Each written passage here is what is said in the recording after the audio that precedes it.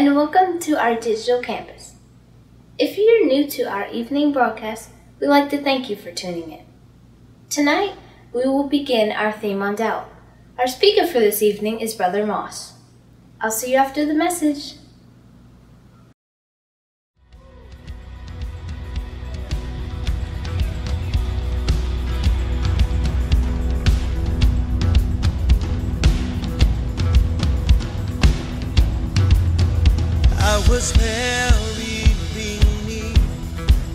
my shame.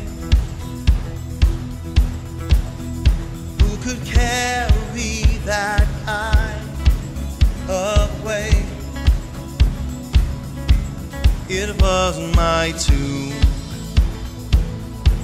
till I met you. I was breathing.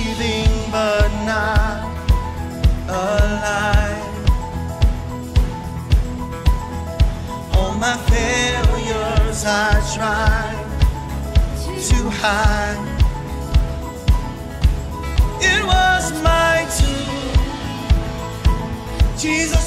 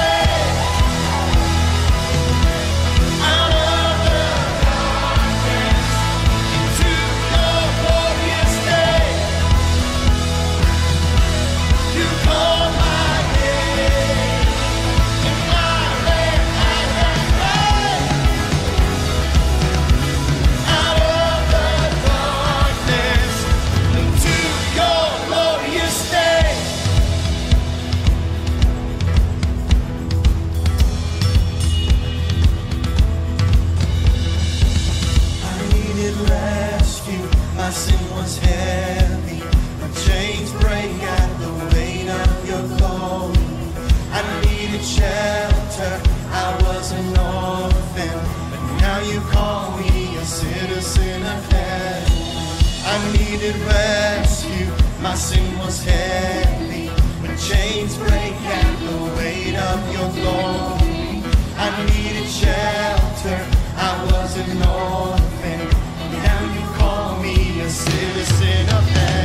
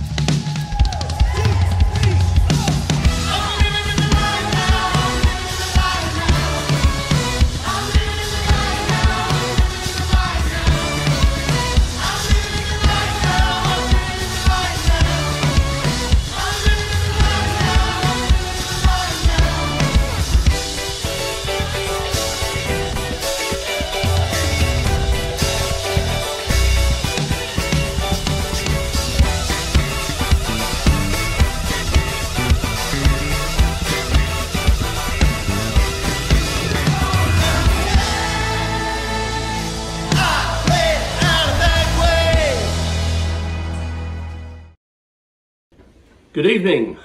Welcome to our digital campus Bible study. We're glad to have you with us this evening.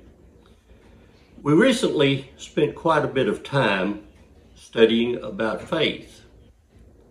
We pretty well established that scriptural faith is believing in and acting on the revealed will of God. This week, we are going to do a study about doubt.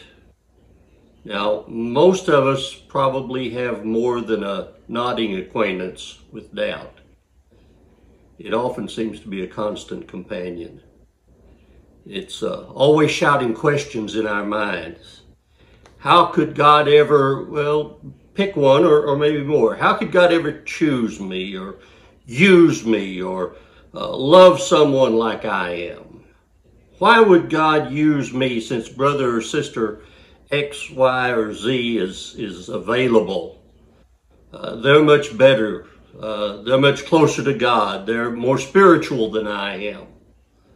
Surely God has someone better or wiser or more talented that he can use. Can God do that? Will he? And a thousand other questions. Let's begin our search for an answer in, of all places, Faith's Hall of Fame, Hebrews chapter 11. One room, uh, one verse, has among its notables a, a group of surprise picks. Uh, surely the uh, pool of nominees was a little light for some years. Hebrews 11:32 uh, tells us, "What shall I say, or more shall I say?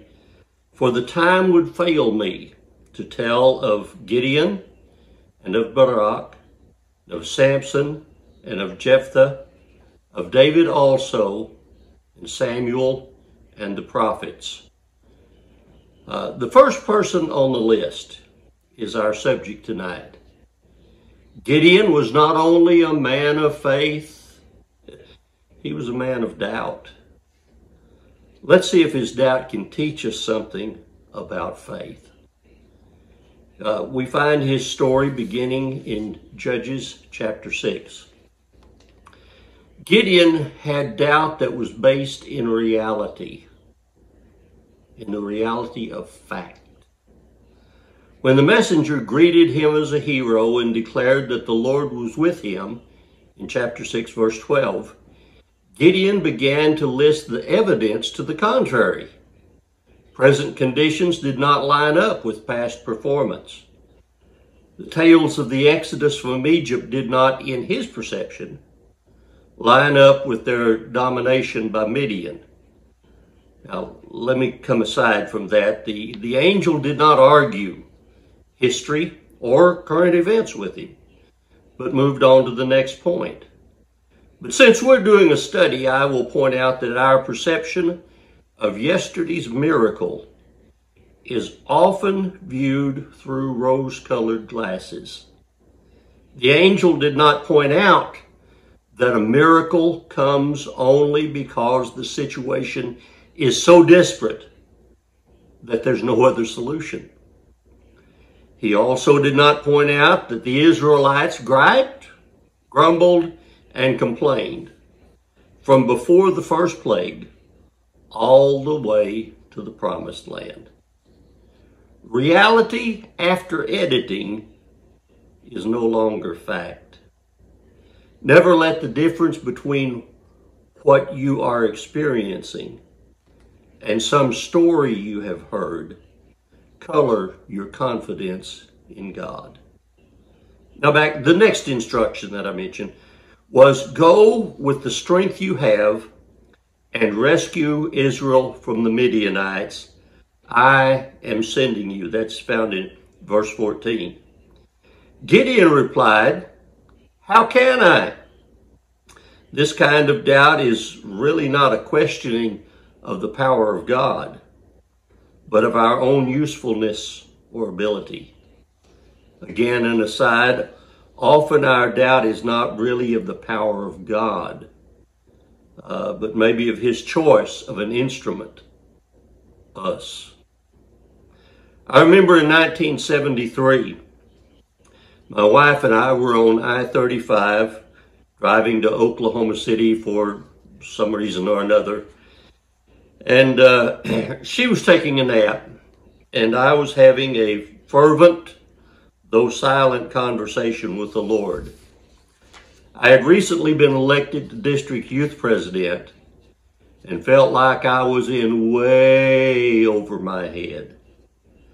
I saw my well of ideas as dusty dry as the West Texas desert where I grew up.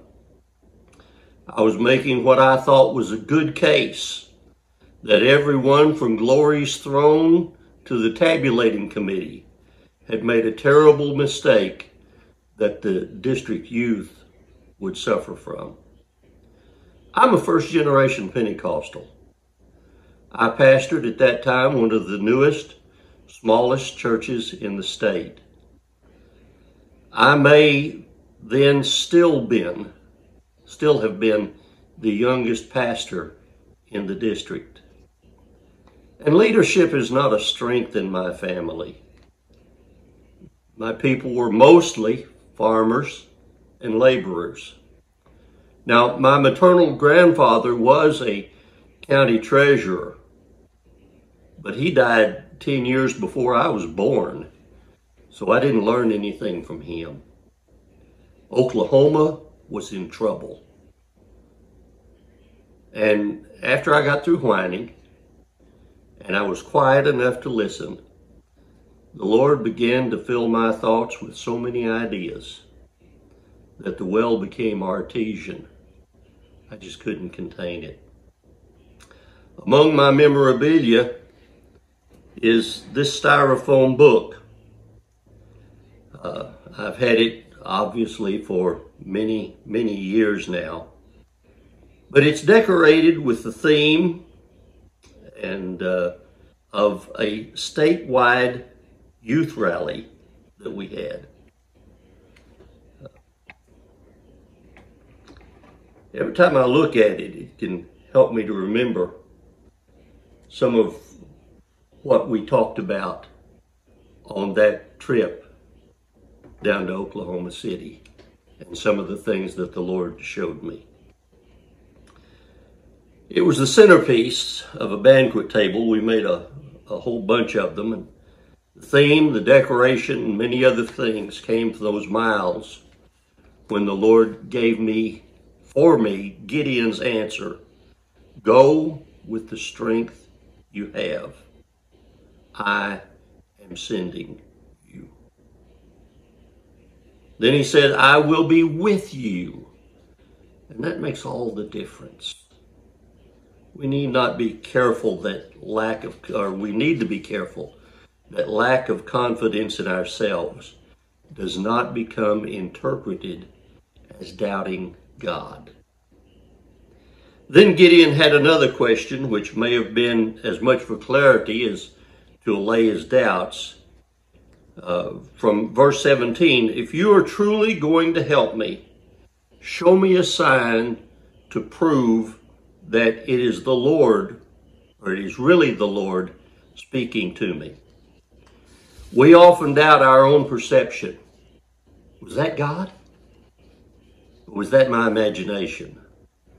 So the Lord gave him a sign, uh, burning up an offering that uh, Gideon had given. And, and then Gideon was afraid that he would die because it was the Lord.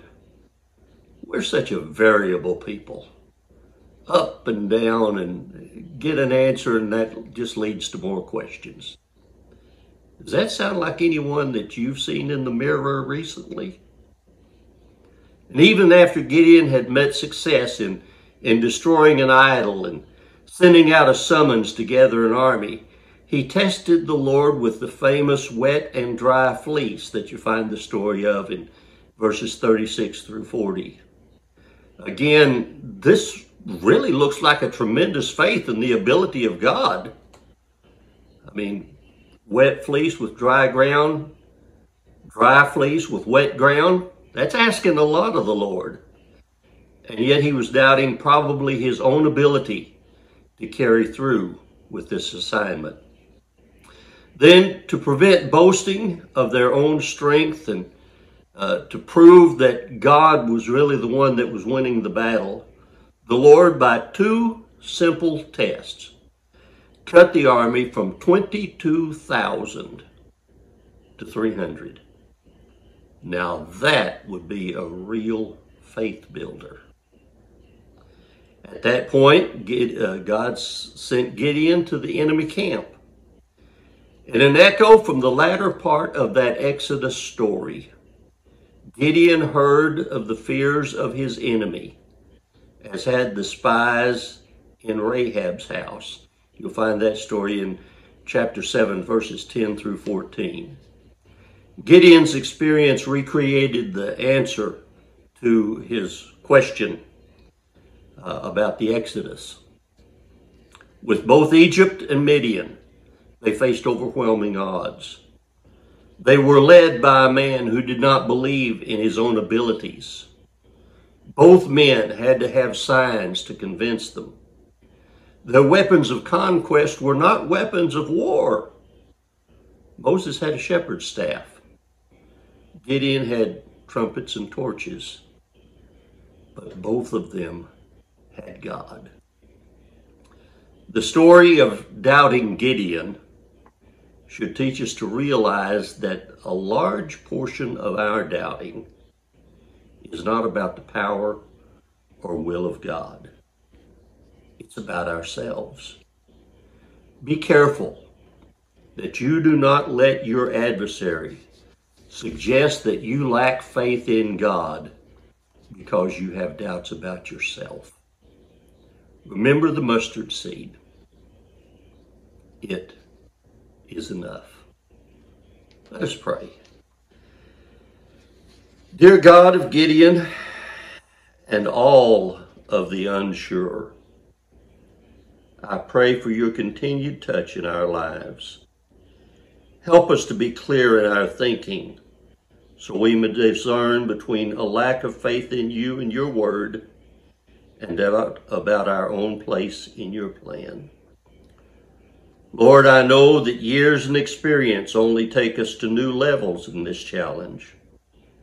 Be with us in all our days and guide us in your ways in spite of ourselves. As you have accepted the foibles of your children through the ages, I ask that you would be similarly merciful to us. We really want to be used in your kingdom. Don't hold our whining against us, but use us in spite of ourselves. In Jesus' name, amen. Well, Lord bless you. Thank you for joining us this evening. And let me invite you to go to newarkupc.info. Uh, there you will find a card uh, encouraging yourself in the Lord. It lists some scriptures that you might be able to use that might be of help to you when you find yourself in a time of discouragement or doubt. And while you're there, you might leave us uh, a, a scripture that you have found to be of help to you in times of darkness or of problems. Lord bless you. Join us again tomorrow night. We'll see you then. Thank you, Brother Moss, for that message. Before you leave, we'd like to invite you to visit us at newarkupc.info, where you can partner with us in giving, submit prayer requests, and join a small group. You can also engage with us. Think about the doubts you struggle with and how God works things out in the end. When you are struggling with doubt, what scriptures encourage you? I like Joshua 1 verse 9. Be strong and courageous, do not be afraid, do not be discouraged, for the Lord your God is with you wherever you go. When you go to our Encourage Yourself in the Lord card, you will find a list of verses that help you when you are feeling doubtful. And you can also share the scriptures that help you most in your time times of doubt. Thank you for joining us, and we hope you have a good night. Bye!